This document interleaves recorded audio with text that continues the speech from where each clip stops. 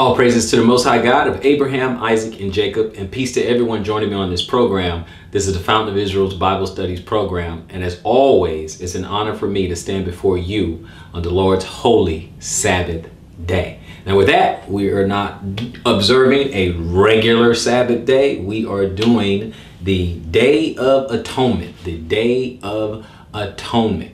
So, before we get started, let me just go ahead and invite you guys to like, share, subscribe, smash that notification bell. And if you feel so inclined, check the description box down below so that if you do want to donate to the ministry because you are being fed, then you may do so by PayPal, Cash App, completely up to you. That being said, and that out of the way, let's jump right into our lesson.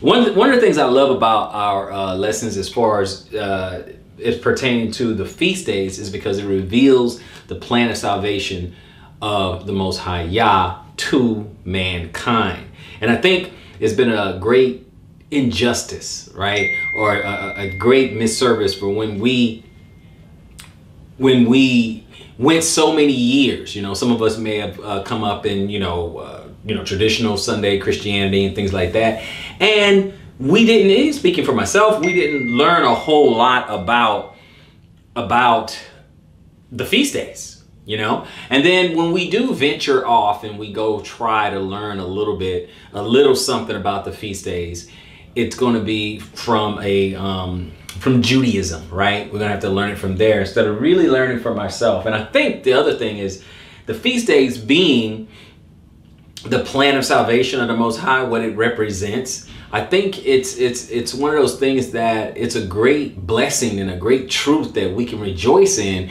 and I think we got robbed of when it comes to you know knowing this particular information and trying to set ourselves apart. Now, that being said, you're gonna have some naysayers come along and they're gonna say, "Hey, well, you know, we're not in Jerusalem, we're not in the temple, we're not in this, we're not in that, we can't do this, we can't do that," and they're gonna just try to explain it away, right? But the feast days is when we as we go through it it's really one of those things where we rehearse the matter you know how here you know in the west they like to do like a civil war reenactment and stuff like that it's the same thing that that we do right it's the same thing we we will try to memorialize these feast days. We're basically going to the family reunion of Yah and, and, and wearing the t-shirt. We're saying that, hey, I am with you. I'm one of yours. I'm one of the children of the Most High Yah, right? And so that's what you're doing. You're, you're just kind of rehearsing the matter. Are you able to do it perfectly? No, we're not able to, right? But we do want to at least rehearse the matter. We are just proving and showing to our Messiah, we're showing him, okay, I, I'm with you. I'm with you. You know, pick me you know, so to speak. It's one of those things that we want to keep that we want to keep in mind. And for those of you who don't really understand these feast days, uh, you you you're in for a treat. You're you're gonna understand like, oh, now it all makes sense. So. Right now, we're going to do the Day of Atonement. The Day of Atonement is the day of salvation, the day He comes to collect, right? So that that's one of the things that we want to look for. It's kind of like uh, if we want to do it on an earthly, it's kind of like Passover was putting you on. He paid the price, put you on layaway. He comes back to uh, collect. I know that's kind of an antiquated uh, concept these days. There's no really a such thing as layaway that much. You know, uh, it's very rare now, but it's one of those things. You know, you just pay for it, and you know, you make your payments and all that, and then you know, you pick it up when it's all complete and stuff like that. But that's that's not the case uh, for this because he's paid the full price. Okay, it's just that he's come to collect, which is his second return. But if I want to go ahead and give you an idea, let me give you an idea of these feast days. If we look at the Passover, okay, it happens in the spring. It's newness. It's brand new. It's birth or rebirth. You know, um, it's him or the Messiah, the Mashiach. He is paying for our sin, paying for our sins, and kind of in a way of making an atonement. He's paying for our sins, and that debt, you know, has been ran up. We we we maxed out, okay, on sins. We maxed out. So he paid for that so that we can have an opportunity, a chance to be reconciled back to the Father, to be reconciled to the Father, right? And it took him, a sinless, the Lamb of God, a sinless Lamb, to pay that price, right? Because the blood of bulls and goats could never take away uh, those sins, right? Otherwise, we wouldn't have to continually offer it year by year by year by year. But Christ, once and for all, obviously all that I just paraphrased. But Christ, once and for all, he did that. Boom. He made that sacrifice once is good enough. He's accepted of the Father. We're good to go in the Passover. Feast of unleavened bread. Purge out the old leaven. Live, walk in the newness of life. Be a different creature. You are a different creature in Christ purging out sin, purging out transgression, right? So that that right there, that's your unleavened bread, which follows the Passover immediately right? Then of course after that you're gonna have you know Pentecost. That's when obviously one part of it is the Holy Ghost coming out, but it's also called the Feast of Weeks. Okay, and so now um, the disciples plus we are also imbued with power. Okay, he gives us you know uh, all things are possible through Christ who strengthens us. Right, so we want to keep that in mind. So we have our day of uh, we, we have our Passover and we have unleavened bread and we have our Feast of Week, which is, you know, Pentecost, which simply means 50, okay? It just means it's just 50.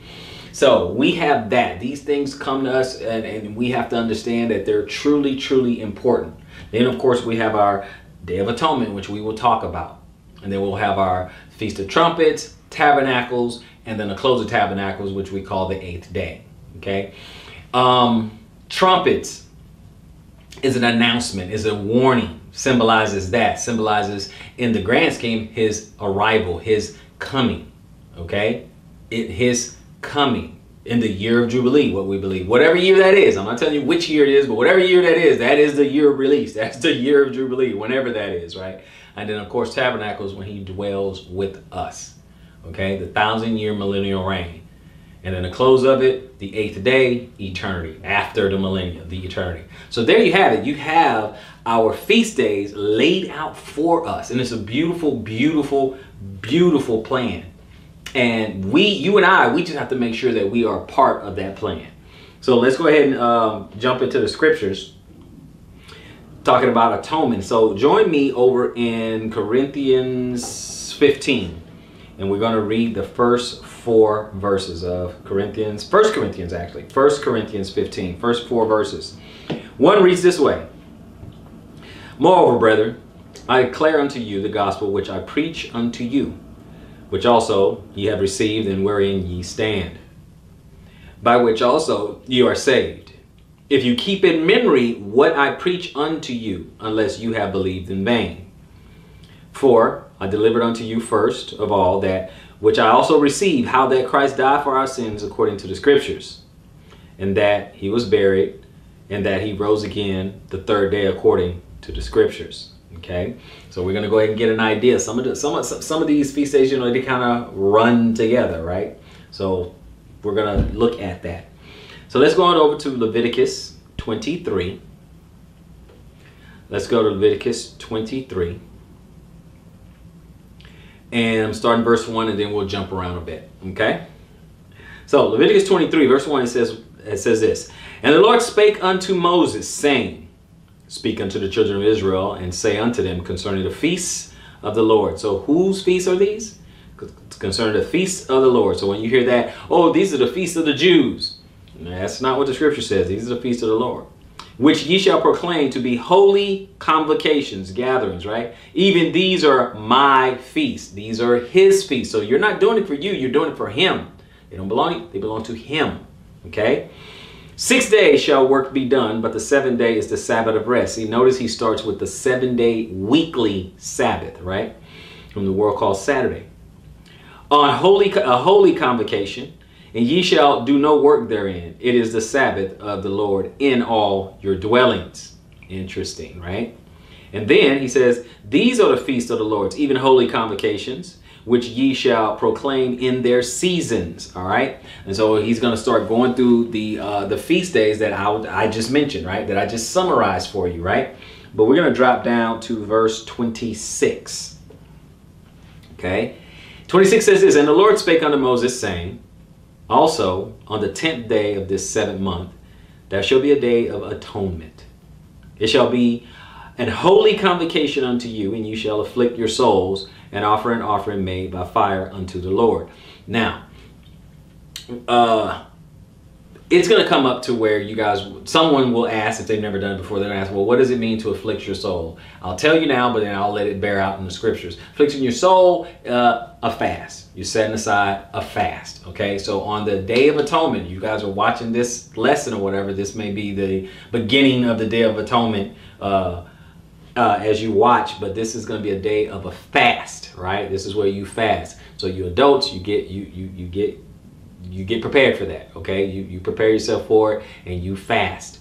Um, yeah, little children, you have them fast about as long as they can. Okay, basically, you know, which means from sundown to sundown. Okay, sundown to sundown, you're you're not gonna eat. Okay, sun goes down, boom, you don't eat uh, to the next time until the sun is down again, 24 hours. So you set aside a fast. Some people ask, well, you know, you have medication. If you're not able to do a fast because you have to have particular medications, then you do, you have to do. Okay, I, I, I, my opinion, and I don't think the Most High wants you to necessarily pass out because you are neglecting your uh, medications, right? So we're gonna go ahead and uh, keep going. It says, uh, It shall be a holy convocation unto you, and ye shall afflict your souls and offer an offering made by fire unto the Lord. It says, And ye shall do no work in the same day, for it is a day of atonement, to make an atonement for you before the Lord your God. For whatsoever soul it be that shall not afflict in the same day, he shall be cut off from among his people. Okay? This is how serious it was. And whatsoever soul it shall be that shall not afflict, uh, let me see here, uh, 30, I'm sorry, 30. And whatsoever soul it shall be that doeth any work in the same day, that same soul will I destroy from among his people. So, one, you have to set aside a fast. You have to afflict your soul and fast that day. And also, no working that day. Okay? Uh, destroy for among his people. Uh, ye shall uh, ye shall do no manner of work. It shall be a statute forever throughout your generations in all your dwellings. Okay, throughout your generations, through all your dwellings. Okay, so no, we're not in a we're we're not in our land, but can you set aside a fast even though we're here in the west? Can you fast? Right. So, thirty-two. And it shall be unto you a Sabbath of rest, and ye shall afflict your soul, or you shall fast, in the ninth day of the month at even, at even, from even until even, ye shall celebrate your Sabbath. From night till night, from evening to evening, you shall celebrate your Sabbath. So this is not a, a, fast where we're just like, oh, I'm so hungry. Oh, I... no, it's not that. This is a celebration. This is afflicting your soul. You'd be focusing on the Most High. You'd be focusing on the Ruach. You're focusing on the things of the Mashiach this, this, this, is, this is the opportunity that you use to focus on the things of the Most High, to clear your mind, to detox your body. You use this as that particular opportunity. This is the prescription He wants us to take. So this that's what we should do. Okay, this is to benefit us. So set aside a fast, prepare yourself. One of the things that may help you is that um, I, I fast once a week, so it's not going to be a big deal for me to fast for the Day of Atonement. Um, to work your way up, you fast uh, once a month or something, right? You or you and your family, you set aside a day. Okay, on this day we're gonna fast. Okay, uh, preferably a day where you don't have to work, but on an off day, just just fast to kind of get into the practice of it, get into the hang of it. So let's just give that uh, a thought and give that a try. Okay, so let's go to Isaiah 58. Okay, let's go to Isaiah 58. Isaiah 58. We're, just, we're going to just read all of it. Isaiah 58. Cry loud, spare not. Lift up thy voice like a trumpet, and show my people their transgression, and a house of Jacob their sins. Yet they seek me daily and delight to know my ways as a nation that did righteousness and forsook not the ordinance of their God. They ask of me the ordinance of justice. They take delight in approaching to God. Wherefore, have we fasted, say, uh, say they, and thou seest not? Wherefore have we afflicted our souls? You see the parallel language there. Have we fasted? Have we afflicted our souls? Okay. And thou takest no knowledge. Behold, in the day of your fast, ye find pleasure and exact all your labor. So you're like you're working, you're doing business, right? Behold, Ye fast for strife and debate, and to smite with a fist of wickedness. Ye shall not fast as you do this day, to make your voice to be heard on high. Is it such a fast that I have chosen a day for a man to afflict his soul? Now you see the parallel language? Afflicting your soul, fasting, same thing, right? It is to bow down his head as a bulrush and to spread sackcloth and ashes under him Without call this a fast and an acceptable day of the Lord. So basically, you want to do the fast and do it how you want to do. You want to still work. You want to still do all these other different things you want to do. You ain't focusing on the Most High. You're not doing any good works or anything like that. You're just exacting your own pleasures. Okay? Is it not this the fast that I have chosen? And then he gives you an idea of the things that he wants you to do. To loose the bands of wickedness, to undo the heavy burdens and to let the oppressed go free, and that ye break every yoke? He's asking a question. Verse 7. Is it not to deal bread to the hungry, and that thou bring the poor that are cast out to thy house? When thou seest the naked, that thou cover him, and that thou hide not thyself from thy own flesh, your own family, right? Then shall thy light break forth as the morning, and thy health shall spring forth speedily, and thy righteousness shall go before thee. The glory of the Lord shall be thy reward. Okay, you're gonna see you this way. You see the Most High move in your life when you set a fast the way He said it. Say He prescribed it. Starts with two things. One, set a fast. You have the fast from evening to evening, and two, don't work. The other things, these are the good works that I was talking about. Okay, those good works. Okay, he says, um, one of the good works is loose the bands of wickedness, undo the heavy burdens, and to let the oppressed go free. That and, and, to break every yoke, that that yoke of bondage, whatever that is, right? And that fast, this is a good time to like forgive somebody owe you 30 bucks, you know, forgive that debt. If you someone who owes someone, pay it. It's a good time to pay it. Okay, don't vex your neighbor like that. So it's not. I'm not saying let everybody off the hook, but what I'm saying, but you know, it's some of those things, right? Breaking, you know, the every yoke. Is it to deal bread to the hungry? Someone's hungry, feed them. Is that thou bring the poor that are cast out into your house? Okay, so you help someone who is poor and unfortunate.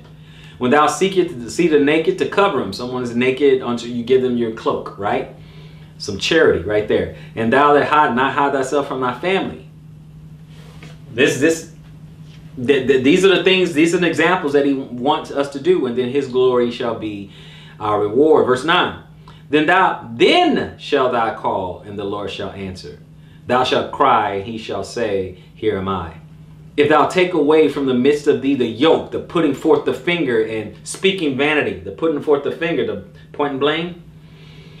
And if thou draw out thy soul to the hungry and satisfy the afflicted soul, then shall thy light rise in obscurity and thy darkness be as the noonday.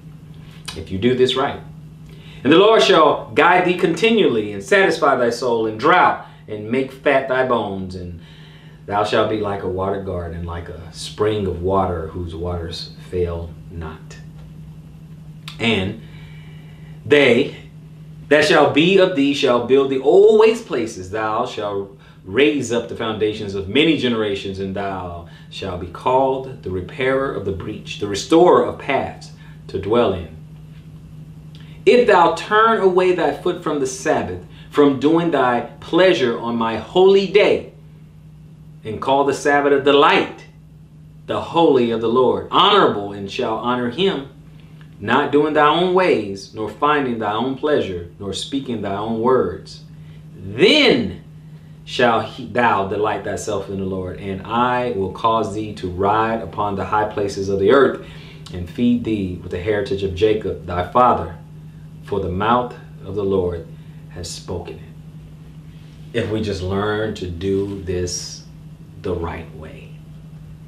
That's that's that's that's all we have to do. We have to learn to do this the right way. Set a fast at the appointed time fast, and get off work. And then from there, you do these good works that was just outlined in Isaiah 58. Isaiah 58. Do those things that are outlined here. And then you'll be well on your way And then he fulfilled his promise. You do your part of the deal, he does his part of the deal. But right now we need to get into practice. We have to practice righteousness. Remember, we got pretty good at sin. We, oh, oh, oh, oh, we're the type of butter muffins who become experts at sin. A lot of us PhDs. But now, let's make a practice of righteousness step by step. You do not have to jump a chasm, a great gulp fix. You don't have to jump the Grand Canyon um, to, to feel like you're making progress on a path of righteousness. Little things can you set aside a fast? Can you afflict your soul? Can you do that? And then, if Yah willing, if Yah keeps breath in your body till the next, then you do a little something else. Then you add something else, add something else. Do another good work, then another good work, then another good work. Make a practice of righteousness. Make a practice of obedience. Let's continue. We're going to go to Acts 27. Okay? Because some people say, oh, well, it's done away. We don't have to do that. You know, new time. I'll, I'll just read one line. One line. One line. Acts 27 and 9. Acts 27 and 9. It says, Now when much time was spent, and when sailing was now dangerous because the fast, not a fast, the fast was now already past, Paul admonished them, right? The fast, the fast. Oh, well, you know, they're Jews or whatever. Okay, follow me as I follow Christ. Christ did all this. Don't listen to this it's done away crap. Okay? This is a fast. You don't have to be in Jerusalem to fast. You could just fast. That's all you have to do. We're, we're not going to make this harder than it has to be.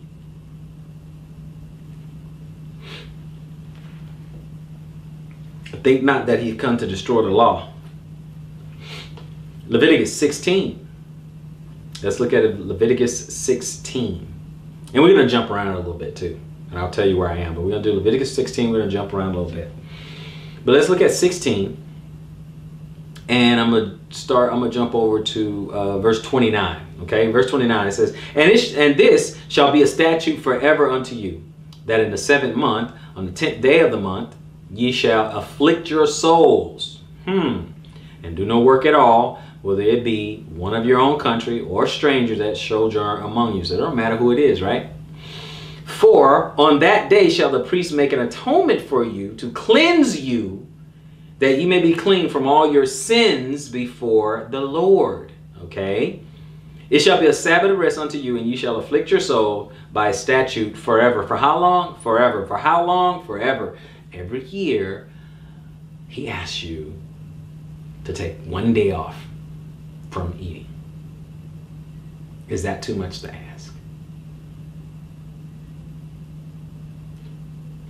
Let's drop down to verse 6. Let's see what did they do to uh, you know, put together this uh, sacrifice, right? Verse 6, it says, And Aaron, or Aharon, shall offer his bullock of the sin offering, which is for himself, and make an atonement for himself and for his house. And he shall take two goats and present them before the Lord at the door of the tabernacle of the congregation. And Aaron shall cast lots upon the two goats, one lot for the Lord, and the other lot for the scapegoat. And Aaron shall bring the goat upon which the, the Lord's lot fell and offer him for a sin offering.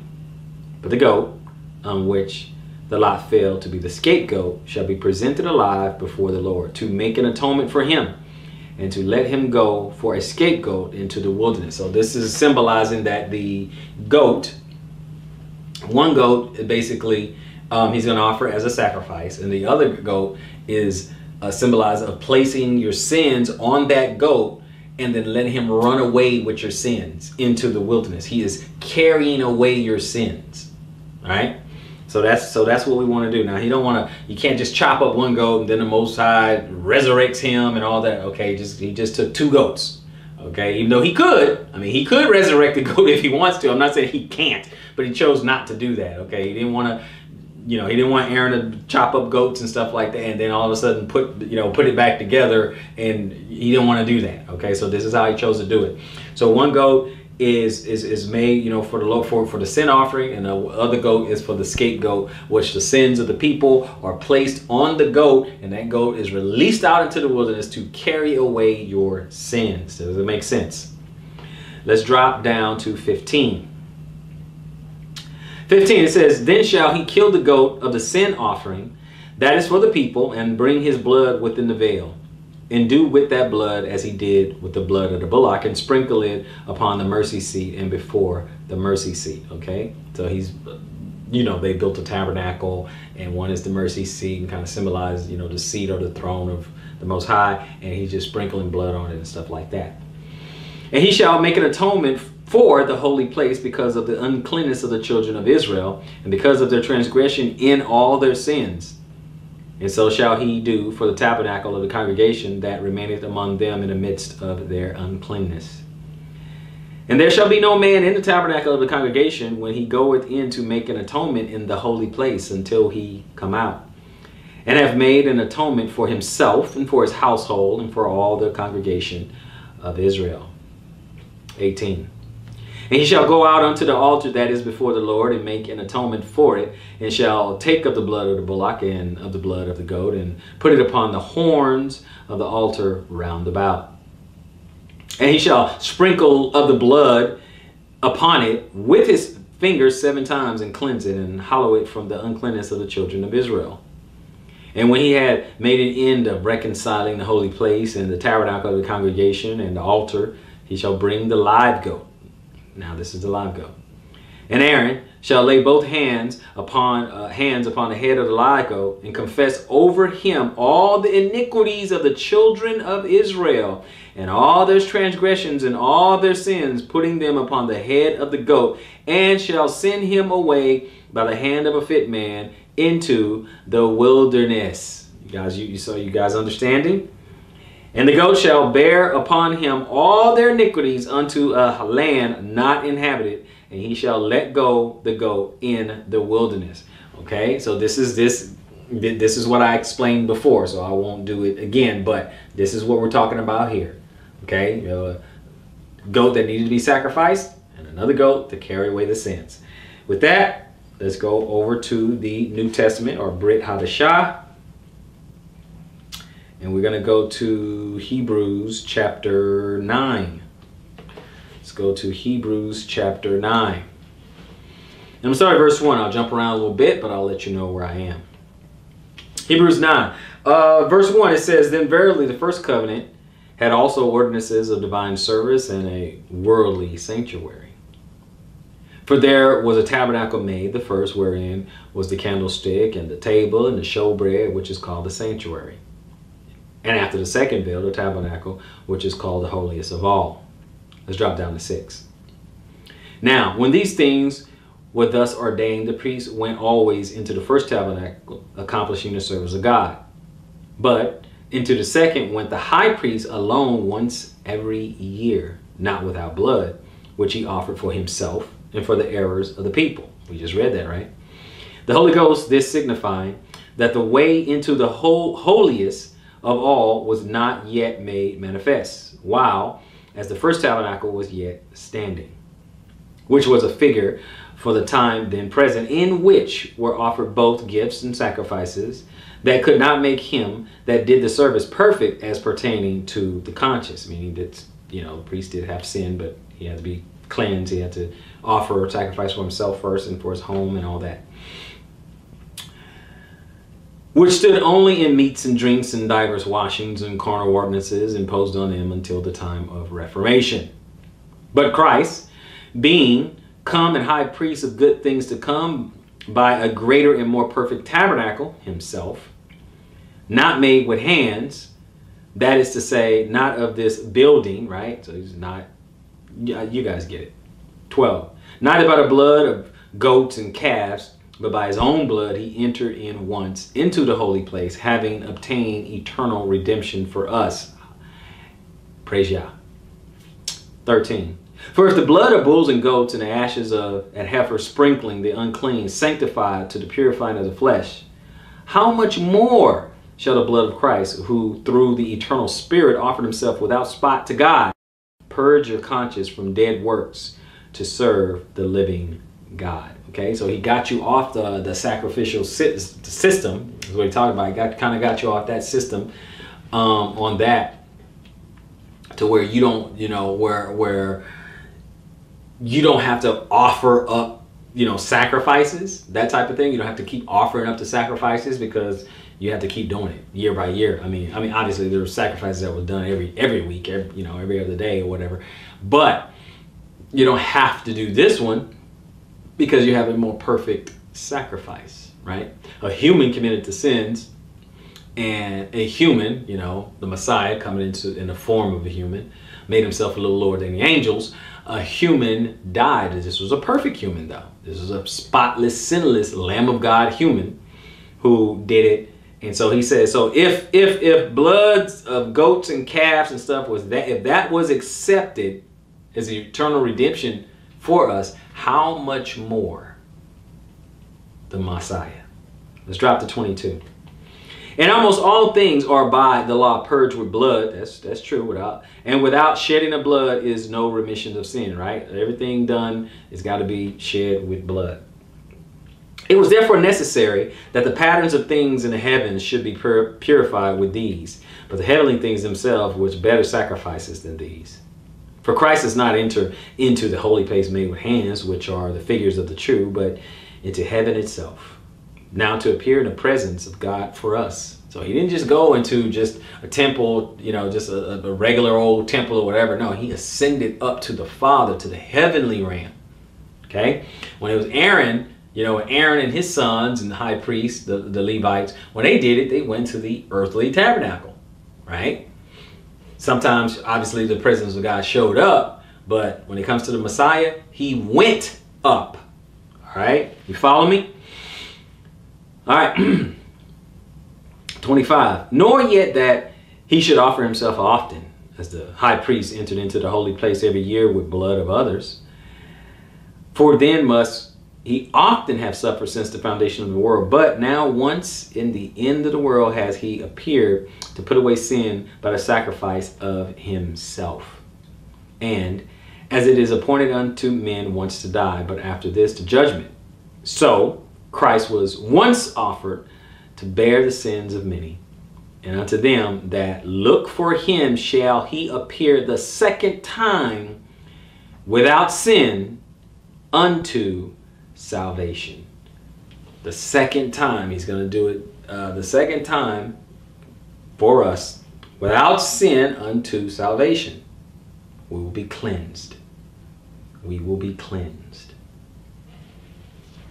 That's the beauty of this. If someone would just simply would have explained this to us years ago, we'd be so far ahead, we could be so far ahead in the game in our understanding. Romans 5. Join me over in Romans 5. We're going to read 6 through 11. Romans 5, 6 through 11. For when we were yet without strength, in due time Christ died for the ungodly. For scarcely for a righteous man, man will one die. Yet peradventure, for a good man, some would even dare to die. But God commended his love toward us in that while we were yet sinners, Christ died for us. Much more than being now justified by his blood, we shall be saved from wrath through him. For if, when we were enemies, we were reconciled to God by the death of his Son, much more being reconciled, we shall be saved by his life. And not only so, but we also joy in God through our Lord Jesus Christ, by whom we have now received the atonement. Now we just we received the atonement. That's what we're talking about now. We're dealing with the day of atonement. We are recognizing, we are memorializing, and we are rehearsing the matter. Except we don't have to kill a bull or a goat. That part's already done for us. He did his part. Now it's time for us to do our part. Let's go to First Thessalonians. First Thessalonians. Because there's a purpose to all this. There's a purpose to why, you know, we have to do it this way. There's a purpose to why we have to prepare ourselves. There's a purpose, and we've already alluded to that. First Thessalonians, we're going to read 9 and 10. 9 says this. First Thessalonians chapter 1, verses 9 and 10. For they themselves show of us what manner of entering in we had unto you, and how you turned to God from idols to serve the living and true God, and to wait for his Son from heaven, whom he raised from the dead, even Jesus, which delivered us from the wrath to come. So we're going to talk about the wrath to come. This is this this, this is the reason why we're doing this. This is the reason why we are rehearsing the matter. It's the reason why we're observing this because we are preparing, preparing us for what's to come.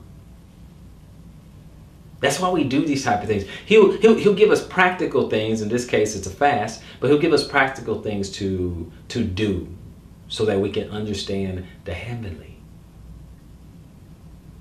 Question is, will we do it? We see it. We see. We've seen it before. We see it. Um, you guys remember whether, depending on your generation, if you're the older generation, you remember in eight, you know, in the '80s, I believe, you know, Karate Kid, wax on, wax off. We remember um, with little Jaden Smith. Okay, just what 10, 10 years, ten years or so ago. Okay, a little over a decade ago, 20 years ago. Um, we have uh, Jaden and it's put the jacket on, take the jacket off. Right? We're doing these mundane things in order to teach us something else and that's what the Most High does for us. He'll have us do something. It may not make sense. Plenty of time we look at the Bible and we're just, oh, why we got to do that? I mean, what's to, I don't understand. I, yeah, you may not understand. You may not understand, but there's a purpose. And there's a purpose even if you don't get it. Even if I don't get it, I know there's a purpose behind it.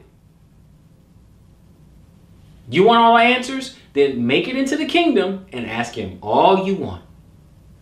Hallelujah. So, let's go to Revelation 6. Revelation 6. Talking about the wrath to come. All right. Let's go to Revelation 6. I'm going to start over in verse 12. Revelation 6, verse 12. Verse 12 says this And I beheld when he had opened the sixth seal, and lo, there was a great earthquake, and the sun became black as sackcloth of hair, and the moon became as blood. And the stars of heaven fell unto the earth, even as a fig tree casteth her untimely figs when she is shaken of a mighty wind. And the heaven departed as a scroll when it is rolled together, and every mountain and island were moved out of their places. And the kings of the earth, and the great men, and the rich men, and the chief captains, and the mighty men, and every bondman, and every free man hid themselves in the dens and in the rocks of the mountains, and said to the mountains and rocks, Fall on us, and hide us from the face of him that sitteth on the throne, and from the wrath of the Lamb.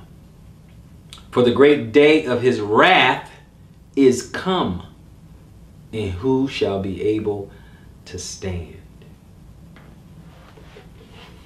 Wrath is coming. And when we cover ourselves in his blood, when we put ourselves back in covenant, when we rehearse the matter, when we practice righteousness, we, we're saving ourselves from the wrath to come when we do these things. This is how this is how we do it. This is why the apostles and the prophets, this is why they tell us these things. This is how you identify yourself as one of Him, that where you and I can be spared from the wrath to come. Let's look at Revelation chapter 11. Let's look at that real quick. Revelation chapter 11, we're going to go at 15. We're going to read 15 and 18. Now look at this. Look what it says. It says, And the seventh angel sounded, And there were great voices in heaven saying, The kingdoms of this world are become the kingdoms of our Lord and of his Christ, and he shall reign forever and ever. And drop to 18. And the nations were angry, and thy wrath is come, again with the wrath, and the time of the dead, that they should be judged, and that thou shouldest give reward unto thy servants, the prophets, hmm, and to the saints, and to them that fear thy name, small and great, and shouldest destroy them which destroy the earth. Wrath, my friend, is coming. Wrath is coming.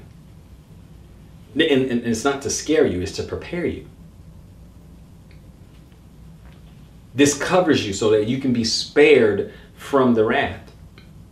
He's not going to slay those that are his, those that are in covenant with him. He's not going to he's not going to destroy them. He's going to destroy those who are not with him, who are not on his team, who will not sign up for his program. Those are the ones he's going to come to destroy. Let's go to Matthew 24. We're going to see when it all start, when it starts, right? It starts to unfold way back in the first century. It starts to unfold and it's still unfolding, still unfolding. We've seen a lot of a lot of bad, bad, bad things that's happened over the past 2,000 years. Can would you agree with me that a lot of bad things has happened over the last 2,000 years? Okay, and like birth planes, it's going to get worse before this epic crescendo that will culminate in the battle of Armageddon. And then, of course, we got a couple other things that happens after that. But after Armageddon is over, a lot of that war and bloodshed and all the most of that's that's gonna be gone because you walk into the millennial reign. So most of all the that ep, this epic, you know, this this epic violent blood up you know up to the horse's bridle all that's gonna be that's after Armageddon that you we won't have that much you won't have that we won't have that you know, you might get a rebel here and there that gets smited or whatever, you know, because there'll still be humans and uh, regular flesh, you know, mortals in the millennial reign. And, you know, some of them might get, you know, might get a little cute and mess around and find out. And they'll get dealt with, but it won't be like in, in, in Armageddon. Okay, it won't be like that. There's, you know, there'll be, there'll be a, a few, you know, butter muffins out there who, who, who think they know better and yeah, it's just not going to work out for them. But let's look at the beginning of it, just a little bit. Matthew 24. I'm going to start it over 29. Matthew 24. Verse 29 says this Immediately after the tribulation of those days shall the sun be darkened, and the moon shall not give her light, and the stars shall fall from heaven, and the powers of the heavens shall be shaken. And then shall appear the sign of the Son of Man in heaven, and then shall all the tribes of the earth mourn, and they shall see the Son of Man coming in the clouds of heaven with power and great glory. This is him coming, right? And then what? And he said, And he shall send his angels with the sound of a trumpet, and they shall gather together his elect from the four winds, from one end of heaven to the other. From all directions, right?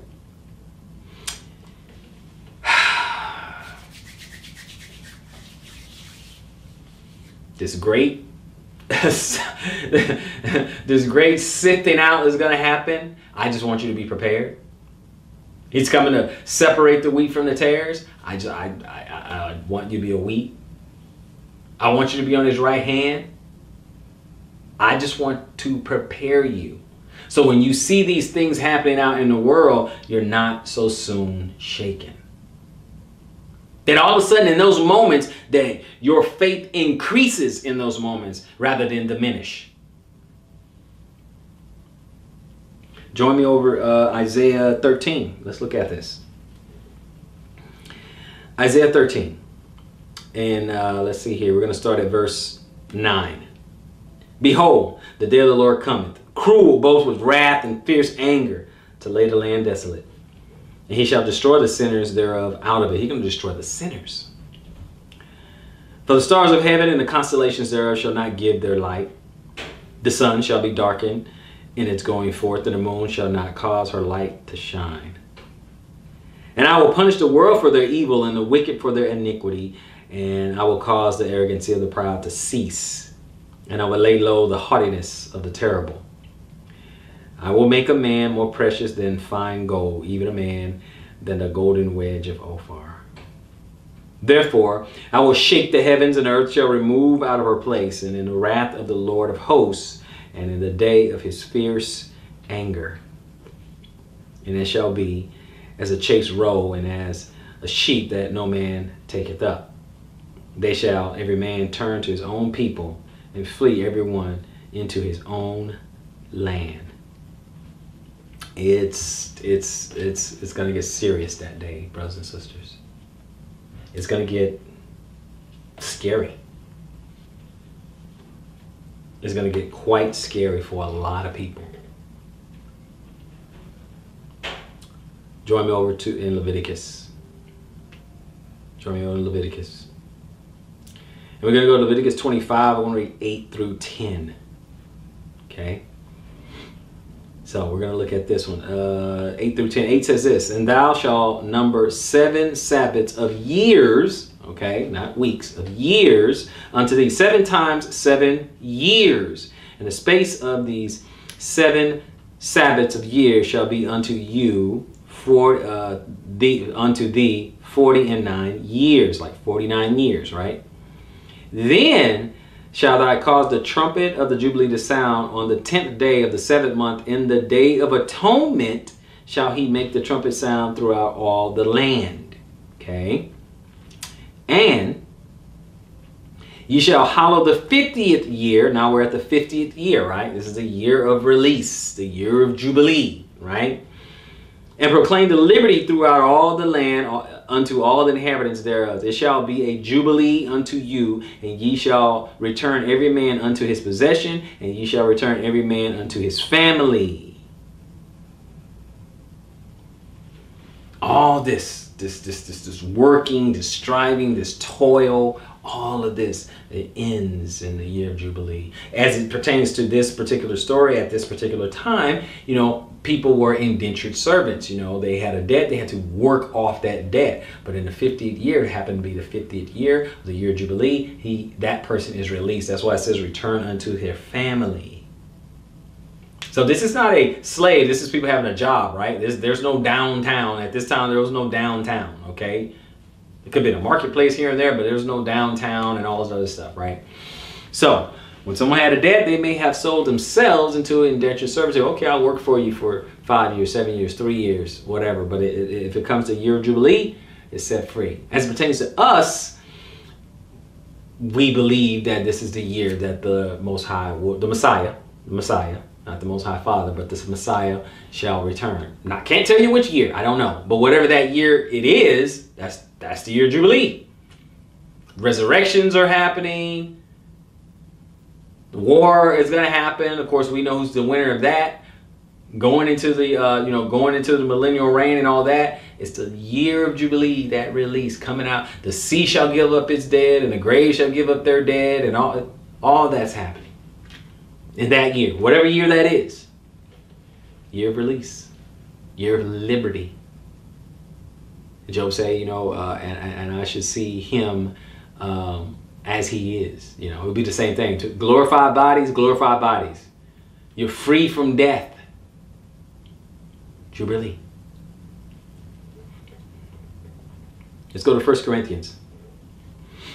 We were talking about those, you know, live goats and all that other stuff. Let's let's look at this real quick. First Corinthians 15 and we'll jump around. Starting in verse 1, it says, Moreover, brethren, I declare unto you the gospel which I preach unto you, which also you have received, and wherein ye stand. By which also you are saved, if you keep in memory that, I mean, what I preached unto you, unless you have believed in vain. Drop down to 12. Now, if Christ be preached that he rose from the dead, how some say among you that there is no resurrection of the dead. Okay? Keep in mind you know, the two goat, live goat, scapegoat, and all that stuff. 13. But if there be no resurrection of the dead, then is Christ not risen. And if Christ be not risen, then is our preaching in vain, meaning for nothing. And your faith is also vain, or for nothing. You're believing for nothing, if he's not risen. Yea, and we are found false witnesses of God because we have testified of God that he raised up Christ, whom he raised not up. If so, be that the dead rise not. See, so if Christ not raised up, then everyone remains in their graves.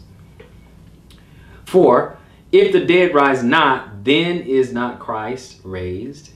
And if Christ be not raised, your faith is vain. Yea, are yet in your sins. Just you still have to bear your own sins if he's not raised up, right? Then they also, which are fallen asleep in Christ, are perishing. Even the guys who, even the people who die believing in Him, they're gone too. They, you just forget it. If in this life only we have hope in Christ, we are all men most miserable.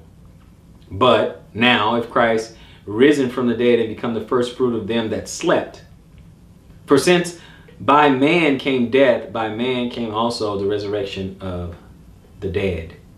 We're going to drop down to uh, verse uh, 51. Let's drop down to verse 51. Behold, I show you a mystery. We shall not all sleep, but we shall all be changed. In a moment, in the twinkling of an eye, at the last trump.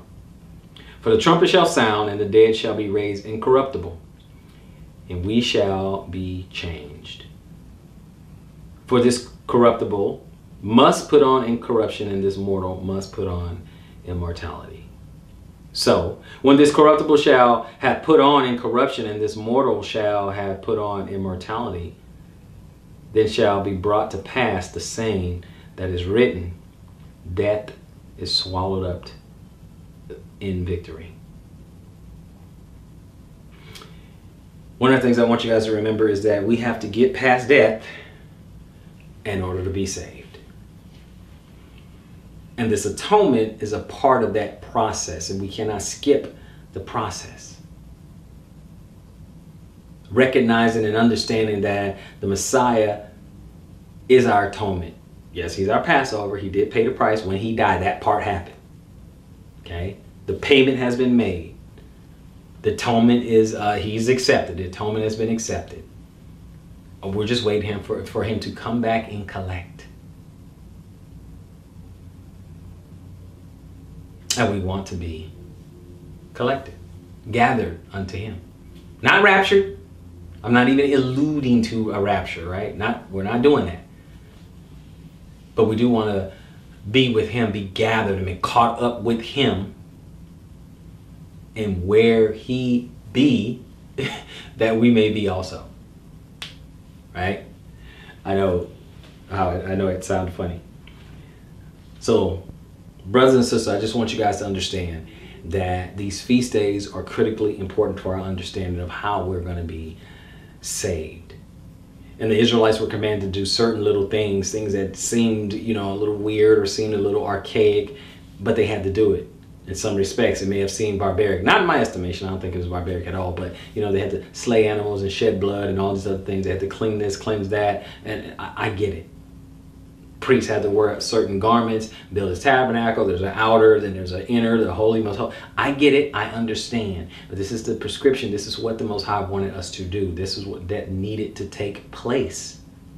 It was critically important that we follow these instructions now, I understand we can't do that perfectly at this point. I get it, but you can rehearse the matter. And it's something as easy as setting aside a fast. That's a simple feast day to keep for most. Because there's really only two things you have to do, and that is take off from work and fast. Very simple. You don't need to gather together. You don't have to do you don't have to do all that for this one. Not this one. We want to keep it very, very simple, very, very practical.